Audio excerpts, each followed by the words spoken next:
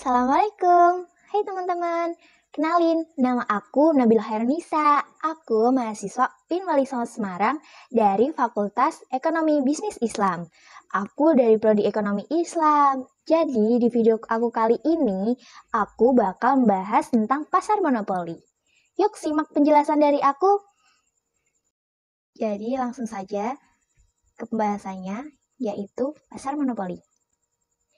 Nah, di materi kali ini, aku akan bahas tiga materi. Yang pertama yaitu pengertian pasar monopoli, yang kedua ciri-ciri pasar monopoli, dan yang ketiga yaitu contoh pasar monopoli.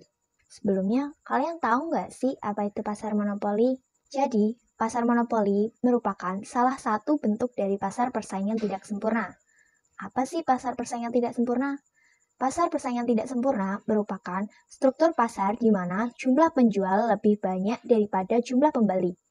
Nah, penjual di jenis pasar satu ini berhak menjual produk tertentu dan menjadi satu-satunya yang boleh menjual produk dalam jumlah tertentu.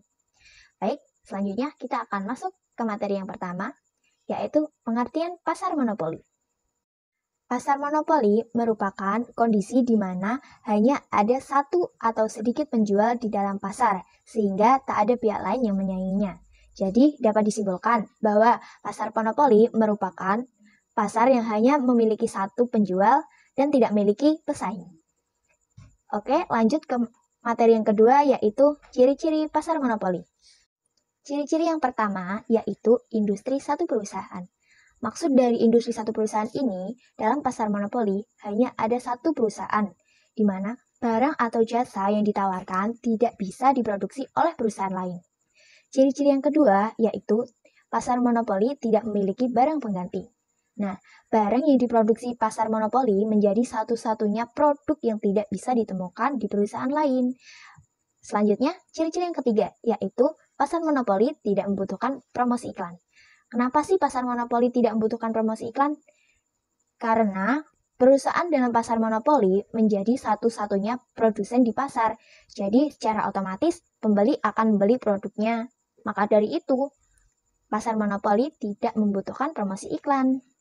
Selanjutnya, materi yang ketiga, yaitu contoh dari pasar monopoli.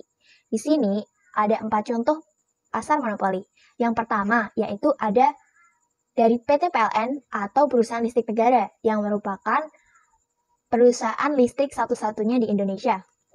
Yang kedua yaitu PT Kereta Api Indonesia. Yang ketiga yaitu PT Pertamina. Dan yang terakhir ada PDAM atau perusahaan daerah air minum. Demikian penjelasan materi pasar monopoli dari aku. Semoga bermanfaat. Terima kasih. Assalamualaikum.